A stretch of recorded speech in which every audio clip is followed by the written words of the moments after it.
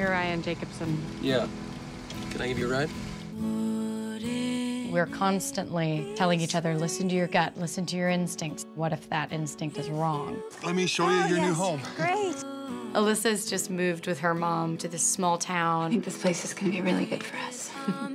and there's a neighbor next door who Elissa sympathizes with. I'd like you to meet new neighbors.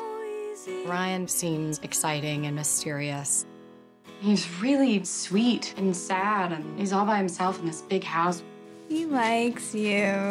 Hey, look, the freak finally decided to show up. Ryan's had a tough, tough life.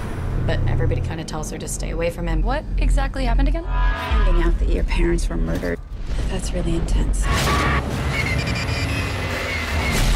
I do not want the two of you to be alone in this house. Can you respect that? But then she takes a chance with him. You become invested in the story, After my parents got killed, things changed. and then at the same time, you become afraid of the story. Listen, we have a new neighbor, okay? I want you to leave her alone. You spend the entire movie wondering who you could trust. Oh my god.